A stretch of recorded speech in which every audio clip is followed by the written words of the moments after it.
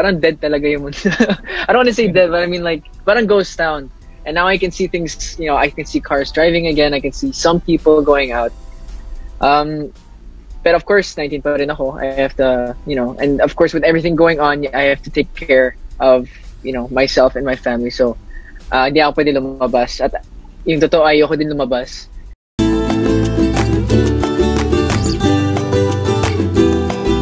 Na-excite ako actually last last Sunday ng sobra kasi bumalik na yung I Want ASAP.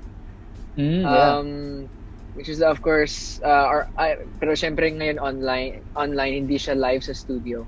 Pero na-miss ko yung ano yung, yung I Want ASAP vibes. Kahit yung background music pag may interview yung yung DJ namin Yeah. si DJ DJ Allen yung production crew na parang bumalik na yung um, excitement at yung passion. So, so parang feeling ko nasa studio ulit ako. Kahit actually mas maganda nasa nasa at ito yung kama ko eh. so ito yung office ko. I work I my office is my bed. So ito yung home studio, home studio ko. So that's why I got excited because of I Want ASAP.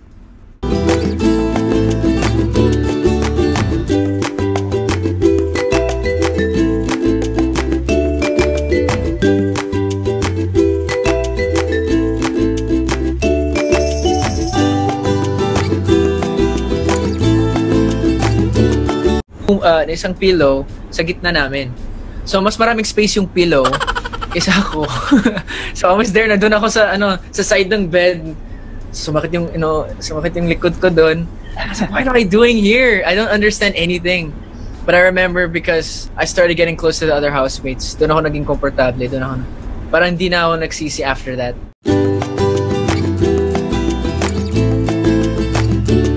Uh, and of course, I didn't, at that point, um, I really didn't realize how big of a chance it was to be in PBB. Because para sa akin yun ang dahilan kung bakit sobrang nag-enjoy ako. Um,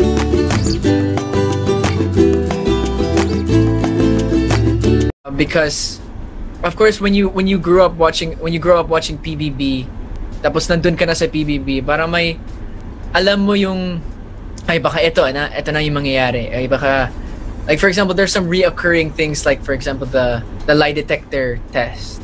Hindi ko alam na nangyari yung that sa ibang season. So everything I experienced bagong bago kaya nag-enjoy ako